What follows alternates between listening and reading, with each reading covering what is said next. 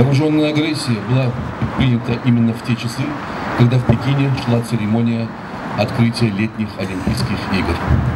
Реализация военной операции грузинской армии под названием «Чистое поле» началась с массированного артиллерийского обстрела и бомбардировок жилых кварталов города, казарм миротворческих сил, больниц, школ и детских садов.